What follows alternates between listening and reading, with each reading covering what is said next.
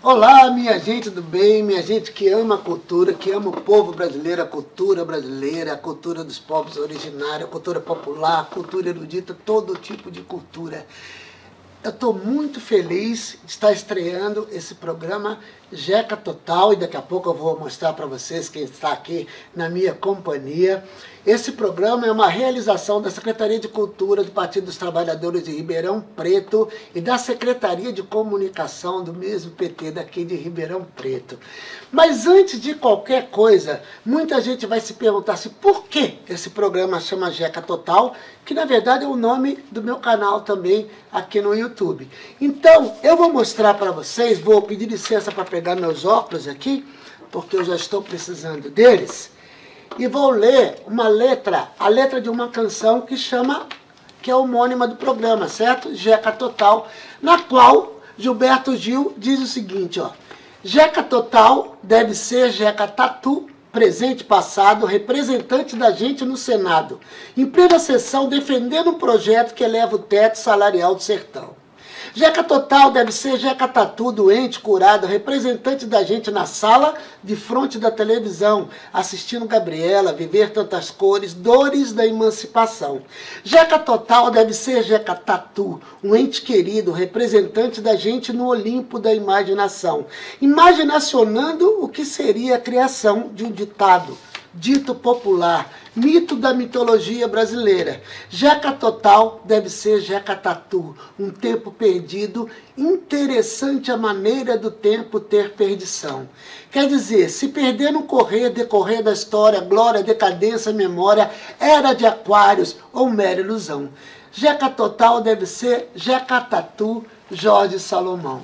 E com essa letra do Gilberto Gil, eu apresento para vocês minha querida Mariângela Quartim, que vai conversar comigo aqui hoje sobre cultura, política e sobre o que mais nós quisermos. Tudo bem com você, É, querida? Tudo bem.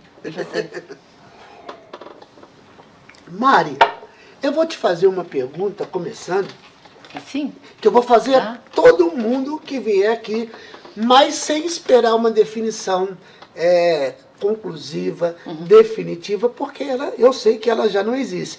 Mas eu pretendo fazer um, um inventário né, de que meus amigos, pessoas que produzem cultura, que, que, que gerem cultura, né, o que elas pensam sobre a cultura e como elas definem cultura. Para você, o que é cultura? Bom, cultura é muito difícil de, de definir, eu, eu diria que quase impossível, né? É uma é, cultura, ela é viva, ela é transformadora, é, ela caminha com o tempo, ela se transporta, é, mas de uma forma muito simples. É, quando você está fora do Brasil, é, qual o documento que você apresenta? Passaporte. Sim. Muito bem. Aqui no Brasil você apresenta uma carteira de identidade. Para mim é o que é a cultura. Né? Uma carteira de identidade traz ali os meus ancestrais, é, traz ali o meu nome, traz ali que período eu, eu, eu vivi, traz um pouco da minha história. Então, eu acho que cultura é, é isso, né? Cultura é, é a identidade individual e a identidade coletiva quando a gente fala de nação. Você- eu ouvi uma colega outro dia falando que eu achei muito interessante, que ela falou que a cultura é aquilo que liga a gente à existência depois do cordão umbilical. Você concorda com isso? Eu acho que depois e antes. Eu acho que não só depois. Depois é a sua é, cultura. Mas é, você é uma coxa de retalhos, na verdade, né? É o que a gente estava já comentando antes em relação ao gosto musical. É, você traz um pouco daquilo que os seus ancestrais, que seus pais, seus tios, seus irmãos mais velhos é, gostavam. Então eu acho que na identidade, na cultura individual, também é assim, né? Você traz a memória, né? Você traz a memória da sua família, você traz a memória das pessoas que conviveram com você, né? que é o seu maior patrimônio. Gente, a Mariângela não está aqui com a gente é, porque ela é minha amiga, porque ela é simpática, não, porque ela tem uma história, uma história de muito tempo na gestão cultural da cidade, seja no âmbito público ou no âmbito privado. Sua formação é biologia, se, né? não estou errado, mas não.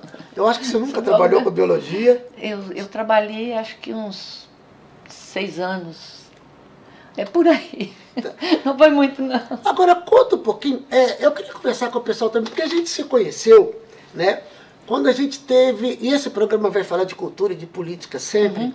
a gente se conheceu num momento muito especial para essa cidade, que a gente perdeu, que era o um momento que havia uma coligação de um partido da social-democracia brasileira com o Partido dos Trabalhadores, em Ribeirão Preto, e que não há dúvida, eu moro aqui há 33 anos, eu nunca vi uma administração melhor do que naquela época.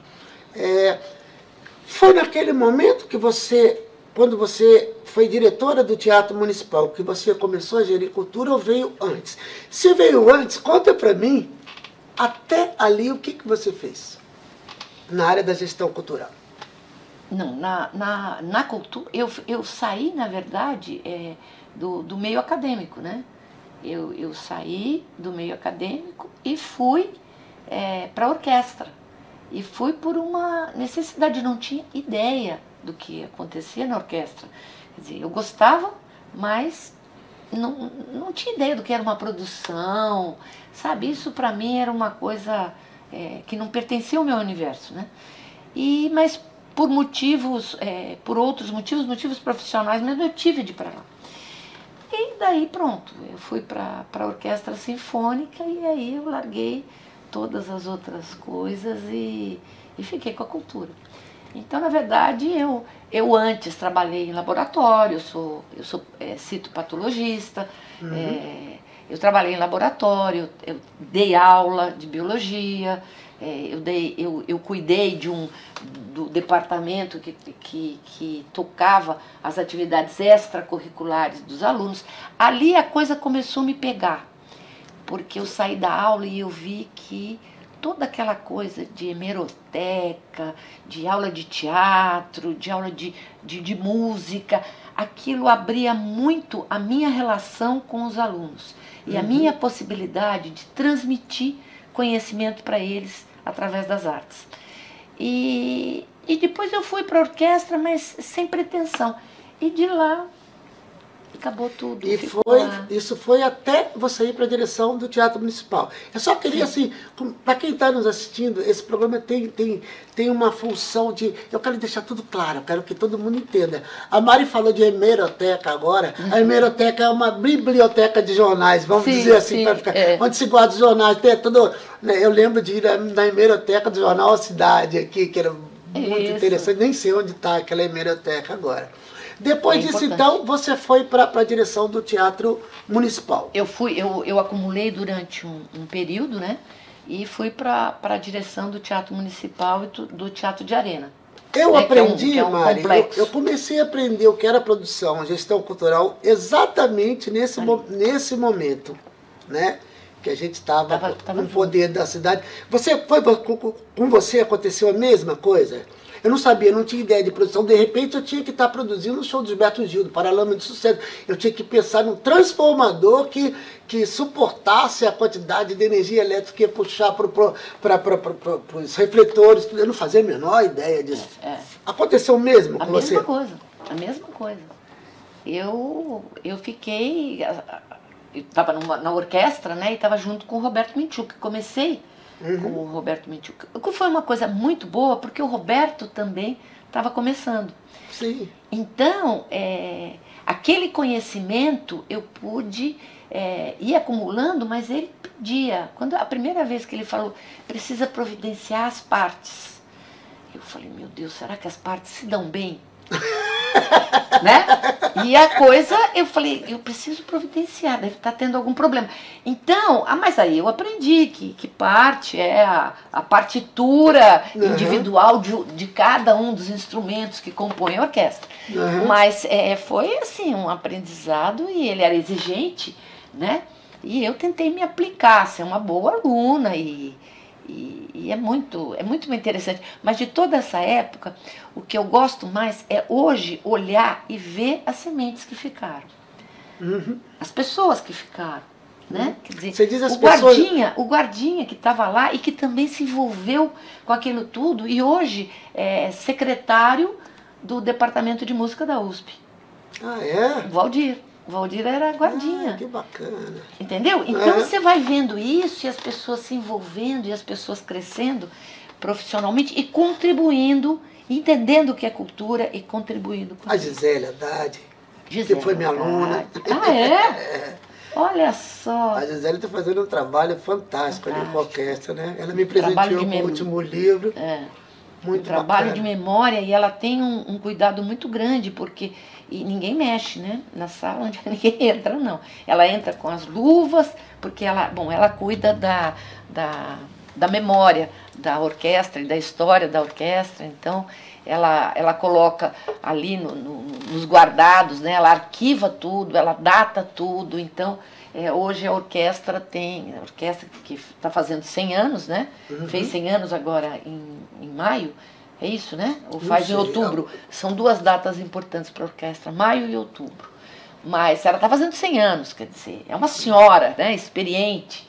E a, e a Gisele tem toda essa história é, absolutamente guardada, Mas, preservada. gente, eu, eu quero aproveitar só para pedir pro pessoal deixar o like, compartilhar, entendeu? E aí na tela também nós temos um QR, QR Code, que é o código QR que está ali. Se você apontar o seu celular, você pode doar, né? Através do Pix, está aí o nome aninhafavareta.com.br, porque a gente está começando agora e, e a gente tem que bancar toda essa estrutura. Vocês estão vendo que nós estamos num estúdio bacana, né? Cedido a gente. Então, por favor, colabore e compartilhe para que a gente leve esse papo sobre cultura a mais gente. Mas, Mari, eu queria que você me explicasse o seguinte: foi ali que você tomou contato com a música de concerto, trabalhando na orquestra, ou foi ali que você ampliou o teu gosto pela música de concerto e como foi esse flerte com a ópera? Olha, foi ali que eu ampliei. Eu sempre gostei de música, né? Música sempre foi um fio condutor para eu conseguir construir meu pensamento, né? E para eu é, adquirir conhecimento. Eu sempre precisei é, da música, né? Então ela, ela, é um, ela é um complemento. E eu sempre gostei de música, mas eu gostava, eu gosto muito e, e- e gostava muito, é, gostava não, gosto muito e fui formada com música popular, né? Então, Chico Caetano, é, eu cresci nesse, nesse ambiente. Música italiana, porque meu pai gostava muito. Mas quando. Para mim, a música italiana e a música de ópera era a minha memória afetiva em relação ao meu pai. Mas é, não era um- uma escolha minha né? Era aquilo que eu ouvia do meu pai. Quando eu fui para a orquestra, eu me apaixonei. Eu realmente me apaixonei. E aí começou a fazer um, um sentido pessoal e individual, não mais herdado, mas um, um, um- um- gosto próprio é, da ópera, né? E, e, e eu acho, quando eu vejo as óperas, as óperas são sempre. Primeiro que ópera sempre foi um- um- uma arte popular. Né? Música erudita a gente chama hoje, mas ela foi a música popular da sua época. Inclusive começou a ser praticada por aqueles compositores que eram considerados compositores menores, Exatamente. né? Que iam para a música eram, não eram cantada. aquelas letrados, pessoas- Uhum. né? Não eram letrados, eram, eles tinham um dom Uhum. e aí eles se associavam a alguém é, que também tinha o dom, mas não era erudito, era popular. Ele trazia, as óperas traziam exatamente o acontecimento cotidiano. O que acontecia na ru, nas ruas, o que acontecia dentro dos palácios, dos, né? É, mas se você pega a ópera, ela, ela- você reconhece, você fala, isso foi em outro tempo. Alguém colocou o que está acontecendo hoje em outro tempo. Vestiram o que está acontecendo hoje de outra época. Né? Uhum. Mas e foi assim que eu me apaixonei, exatamente por essa, por essa transmissão da, da, da coisa contemporânea. né? Uhum. Mari, conta pra mim, é, você produziu óperas aqui, né? Pela orquestra, mas depois você, você trabalhou também com a sua própria produtora, produzindo orquestra, independentemente dessa orquestra aqui, né? Você montando orquestras de cachê, contratando músico, uma, uma... Sim. Como, como, é esse processo? Conta para quem está nos assistindo, porque eu, eu, eu, vi uma aula do, do Sérgio Freitas, meu amigo, que foi meu professor também, ele fez uma pergunta, o que é ópera? Uhum. Lá na Universidade de Santa Catarina, estadual, a UDESC. É, e uma menina respondeu, é uma canção de duas horas. Olha que... É só isso? Uma canção de duas horas? O que é uma ópera? Olha, eu acho que uma ópera, ela tem tanta energia, porque é, as pessoas, as pessoas que, se, que participam de uma ópera, que são muitas, né? É, eu vou dar o um exemplo, vou pegar um número de uma das, das óperas é, que eu produzi com a Malena, que sempre foi minha, minha sócia quando a gente produziu ópera, né? Porque na verdade com a orquestra eu fiz uma só, hum. que foi a primeira orquestra, a primeira ópera que é a orquestra que é orquestra contemporânea, né? Porque com uma orquestra de 100 anos você tem que falar também período de orquestra, claro, né? Claro, Mas o que a orquestra contemporânea fez. É, e depois eu fiz outras, mas tinham 120 pessoas, entre técnicos, entre artistas, entre artistas, quando eu digo, é músico, cantor, né? E os técnicos, iluminador, figurinista, cenógrafo, é, é, a, a, pessoa que está fazendo a gravação. Camareira. É, camareira. É tanta gente, é uhum. tanta gente. E toda essa gente, no começo, nós fomos fazendo. Bom, a gente tem uma, é, a gente tem aqui uma, uma, uma, uma, grande, uma grande produção operística, né? Com a, com a com a Gisele. A Gisele Ganatti. Gisele e o Ivo do grupo Ivo, Ganatti. Eles são uma, uma. É, eu acho que é um orgulho uhum. tê-los. Né? Eles são realmente fazedores, fazedores e produtores de, de ópera. E, mas então era, é muita gente. Então ópera, é, ópera para mim é um, é um carnaval parado. Uhum. Sabe? É um enredo todo é um carnaval que fica só na Praça da Apoteose. Ele, ele não tem. Ele não, tem ele, não, não atravessa a passarela. Não tem a Sapucaí. Mas se você olhar, ali tem cenário que passa, que muda, que são os carros alegóricos. Você tem ali é, é, os figurinos, você tem ali a história, o enredo, né? Então é, é uma junção é, eu não acho que seja uma música de, de, duas horas. Eu acho que é uma música, um teatro, é um balé, é um, é um teatro de cena, né? uma interpretação cênica. É, é tudo junto. Eu acho. É, é, olha, e é muita energia. É muita energia. Maria, a gente já falou de coisas interessantes aqui. Nós concordamos, né? que a ópera era uma coisa popular, Sim. né? E ela é colocada hoje num, num pedestal assim da arte legitimada no Brasil, que no fundo, eu, eu vou citar esse sociólogo que eu estou estudando, o Pierre Bourdieu, uhum. que, ele, que ele fala do, do arbitrário cultural, que é todo esse mecanismo que a sociedade faz para legitimar. A sociedade, ele está dizendo, dos, a, a, a população dominante, né, não os dominados, que fazem parecer que a arte deles é legítima, a outra não. Né? Então vejam bem, nós estamos diante de um paradoxo. A, a ópera começou no âmbito popular, né? e agora ela muda para esse âmbito aí. E um outro grande problema é quando o Bourdieu, o Bourdieu fala do capital cultural, né? que quando uma criança chega, eu, eu vou, quando uma criança chega na escola e ela nunca ouviu uma música do Beethoven, ela nunca ouviu uma música do Mozart, ela nunca ouviu o Vila Lobos, ela não faz ideia do que é uma ópera. Quando ela chega numa escola que outras crianças sabem disso, isso é só um exemplo que eu estou dando de lógico, música, mas eu estou falando de todo o capital cultural da literatura, sim, cinema e tudo. É, é, a, gente, é, é, a criança que não tem isso, ela já está em desvantagem. Ele prova até por meio de pesquisas que até os professores já olham melhor, você já foi professor, é isso, eu também. É natural que a gente olhe com um olhar mais generoso para aquele aluno que gosta mais, que está perto da nossa cultura. E ele diz o seguinte, que a escola é essa instância de conservação.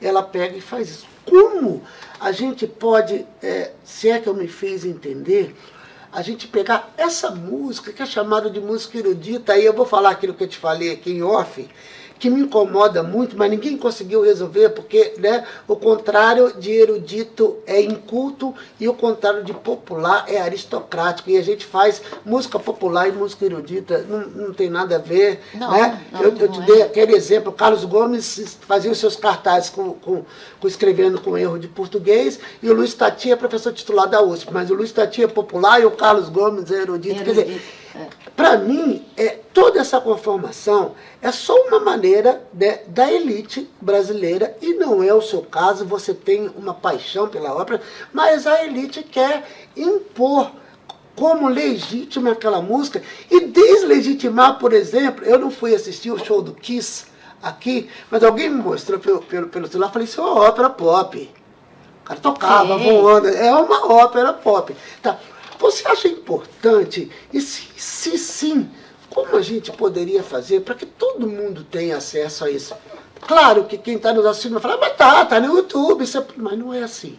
Ninguém vai assistir uma ópera e gostar, ou uma música de concerto, sem que, tem, sem que tenha uma certa preparação. Você concorda comigo? Concordo, concordo, porque é, é, você tem que ouvir a primeira vez e você vai gostar na segunda vez. Você começa a gostar na segunda vez.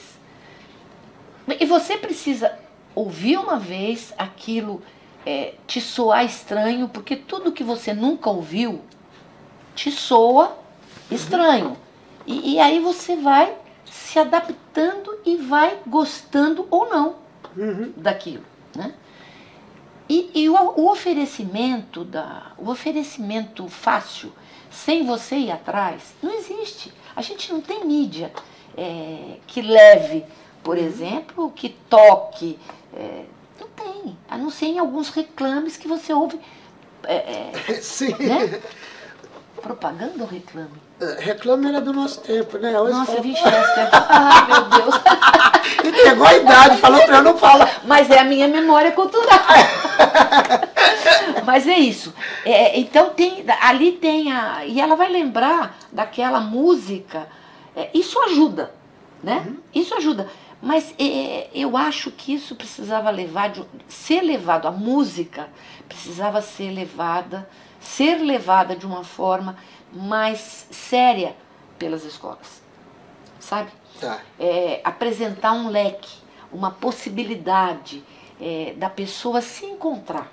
Né? Com todo cuidado para não tentar impor uma cultura sobre a outra. Lógico, lógico, porque a- principalmente aqui no Brasil que a, a- a cultura é diversa.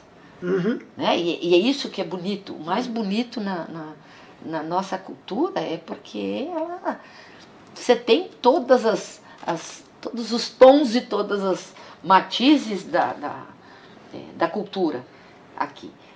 E agora você falou em classe dominante. E aí a gente entra num outro aspecto, né?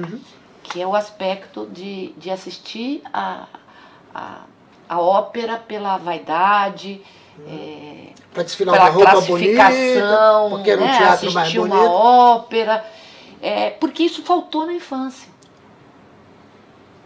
Né?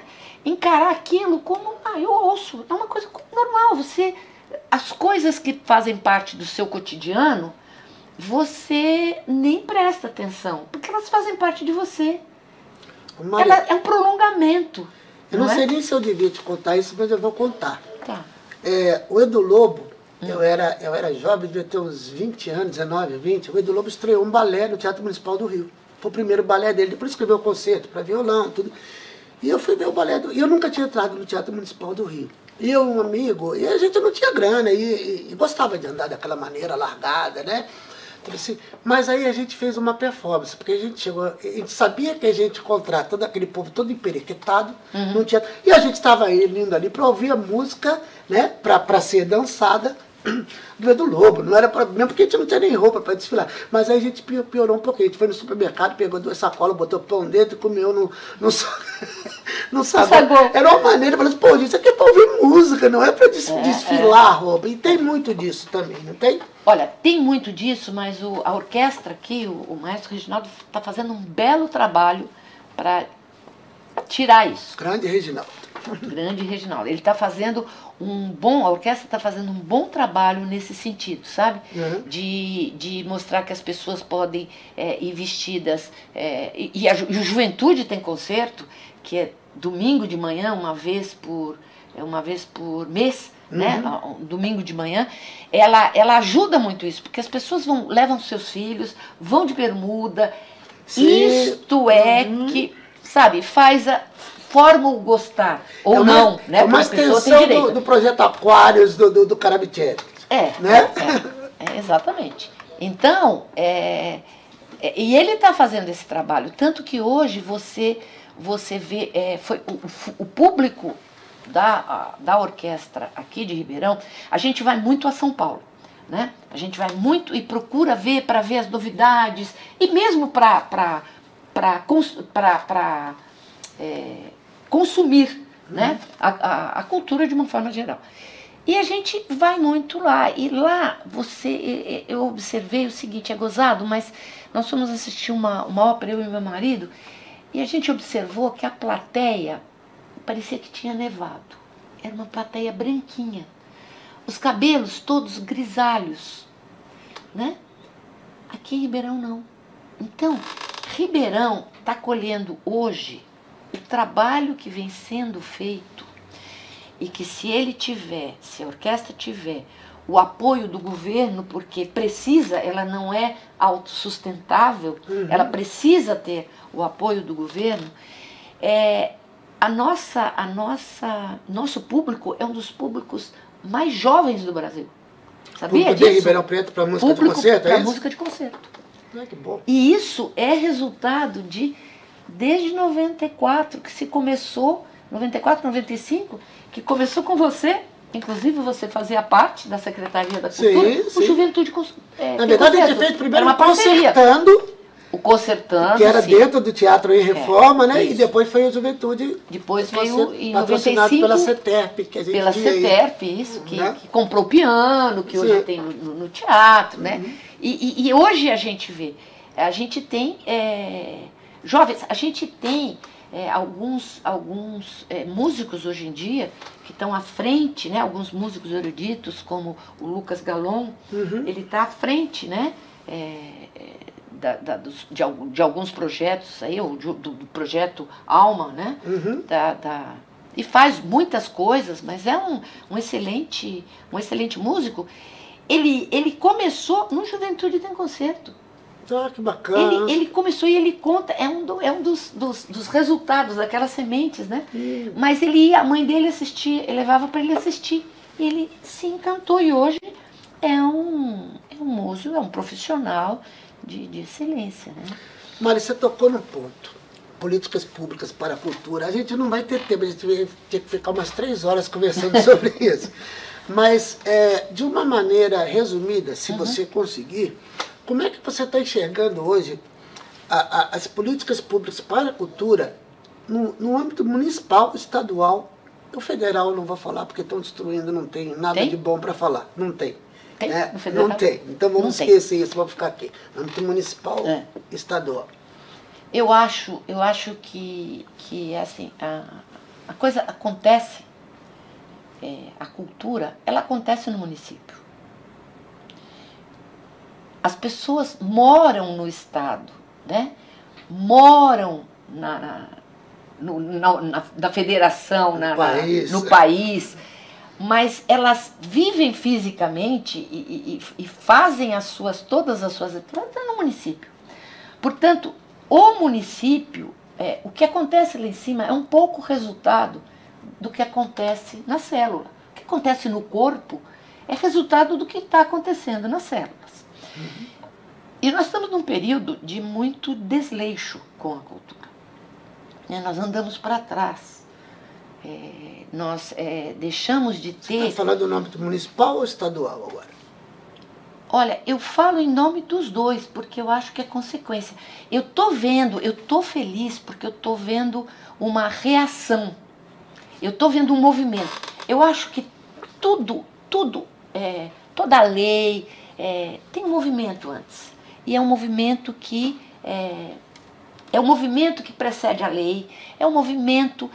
E esse movimento tinha, é, tinha acabado, ele estava muito quieto, ele estava. Ele não, não tinha movimento. Uhum. Tinham algumas pessoas é, correndo atrás de alguma coisa.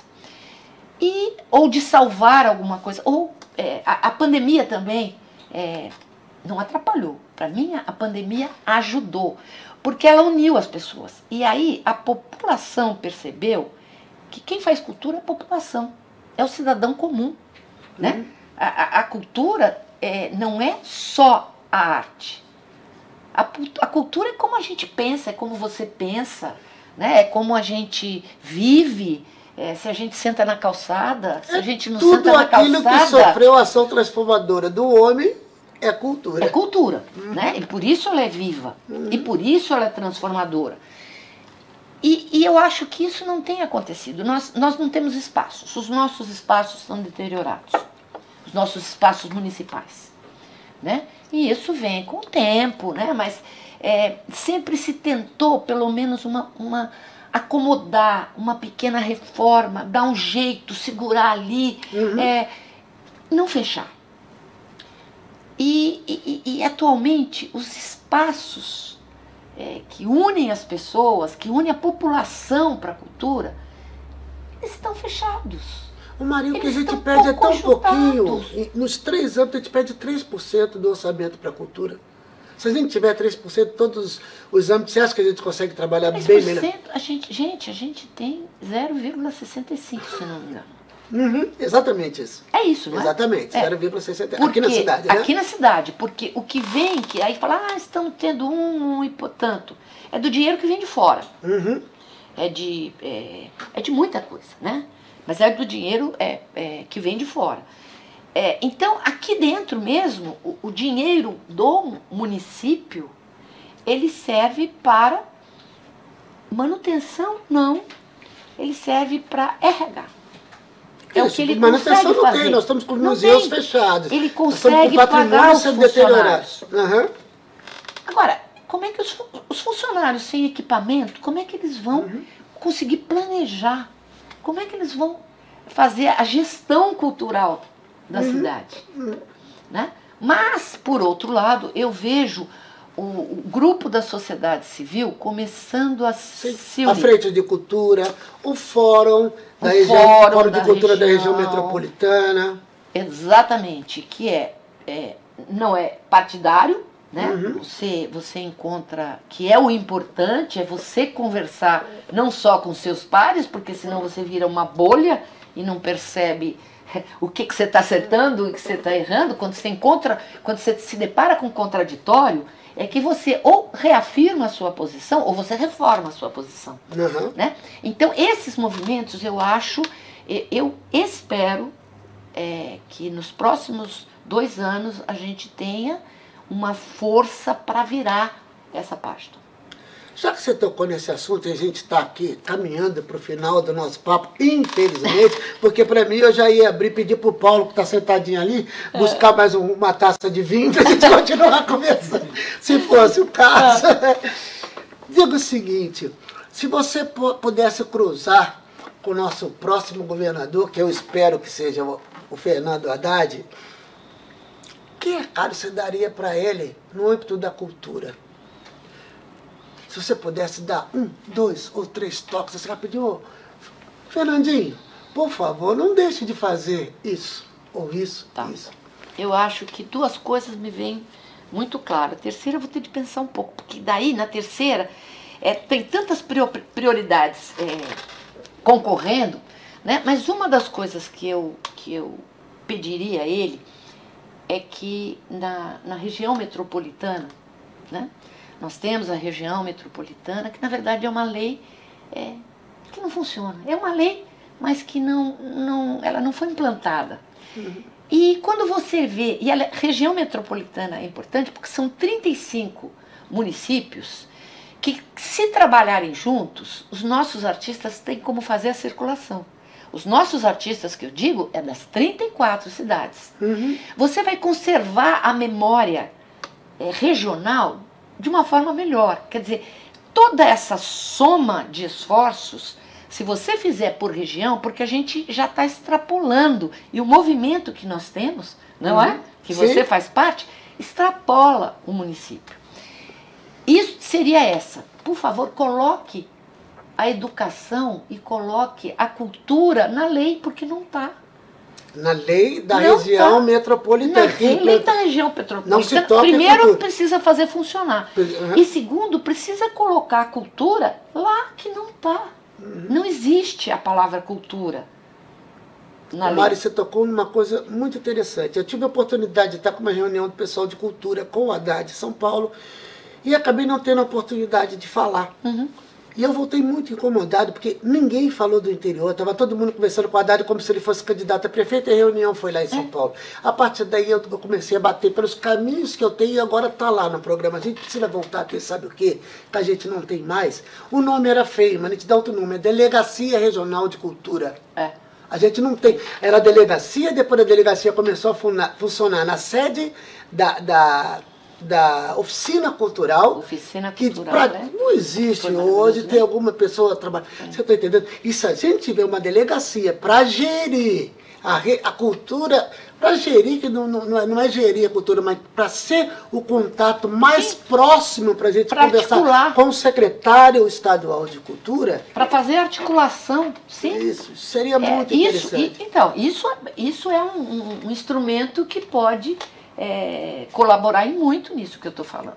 E o segundo, e disso que eu estou falando, da região metropolitana está junto. E o segundo pedido é, seria, é, seria para ele é, o financiamento da cultura, né? Porque, bom, primeiro, para que ele divulgasse para a população o direito à cultura um trabalho forte nesse sentido, né? Porque a pessoa, as pessoas só vão atrás dos direitos que elas sabem que, que tem. E o direito à cultura, que é constitucional, o, o cidadão não sabe que ele tem este direito. Ele não vê, ele ainda não consegue, é, assim, a grande maioria, né? Não Claro. estou dizendo, lógico, de todos. Mas ele não consegue ver o quanto é importante esse direito para a vida coletiva que resolve a vida individual. Então, sempre quando você resolve o coletivo, você resolve o Facilita o individual. individual, claro. O individual, resolver, ele acaba, você vai ter de correr atrás, você vai ter de correr atrás daqui a cinco minutos em, em negociação de balcão para conseguir aquilo, porque você conseguiu para você. Agora, se você consegue para todo mundo, esse é o direito à cultura. Né? Então, isso é uma coisa. E- mas para isso acontecer, para esse direito que é, então seria a segunda, ou seria agora a terceira seria ligado ao financiamento das artes, né? Ao financiamento eh, cultural, que ele não deixasse só editais. Uhum. Eu, eu acho importante ter editais porque é ali que ele consegue é, é, dar prioridade àquilo que, que dá demanda. Ele, ele vai, através dos números, ele vai falar, bom, o pessoal da, da, da cultura popular está precisando mais disso, então vamos nos editais. Mas que ele deixasse o financiamento livre, o financiamento livre, né? no caso do Estado, que é o PROAC e ICMS. Uhum. Eu acho que quando existe só o edital, o governo define o que a sociedade vai fazer, qual é a cultura da sociedade. Uhum. Quando você tem uma mescla de financiamento, a demanda sai da sociedade para o governo. Tem um trabalho conjunto aí. Então, essa, esse, é, é, esse, isso eu acho que dá o equilíbrio, sabe, da balança aí, porque exatamente pelo erro da gente achar que quem faz a cultura é o governo, né? Uhum. O governo não faz a cultura. Nós, o cidadão comum, é que faz a cultura no seu dia a dia Uhum. né? cabe, a, cabe a, ao aos governos, né, no- nos três níveis, fazer a gestão daquilo que nós queremos. Então, este. E, e você não faz sem o dinheiro, Claro. né? sem o financiamento. Uhum, Não- uhum. Ninguém faz. Nenhum trabalhador faz. E quem está na cultura é, o tra- é trabalhador da cultura. Sim, Né? sim. E então eu acho que esse equilíbrio, eu acho que seriam esses três, esses três pedidos. É a região metropolitana, a, a, a cultura estar ali para ser discutida pelos prefeitos, enfim, é, pela, pela região, e o financiamento, e um instrumento, que esse é fantástico, esse de ter um, um delegado Uhum. que poderia estar na região metropolitana. Claro, não é? Que poderia ser Pode o elemento que está lá. É, Exatamente. seria esse, acho que seria perfeito. Fernandinho, Fernandinho Haddad, por favor, pode ouvir a nossa querida Mariângela, porque ela mandou bem nas três proposições dela, pelo menos do meu ponto de vista. E você que estava aí nos assistindo ou nos ouvindo e acha que não faz cultura, nesse momento você deve estar fazendo cultura e não sabe. Ou daqui a pouco você vai fazer uma comidinha, aquela comidinha que foi a sua avó que ensinou, ou um bordadinho, você está produzindo cultura. Não é só isso, não. E cultura também não é só arte. Eu acho que ficou claro isso aí para vocês. Para terminar, minha querida, eu queria te dar um abraço e agradecer a sua Ah, presença. Delícia! Muito obrigado, tá? E eu vou te chamar outras vezes, porque o papo é muito bom, tá bom? Tchau, gente. Então estreamos assim o, o podcast Jeca Total e muitos mais virão. Um abraço. Zeca Total, Zeca Total, Zeca Total.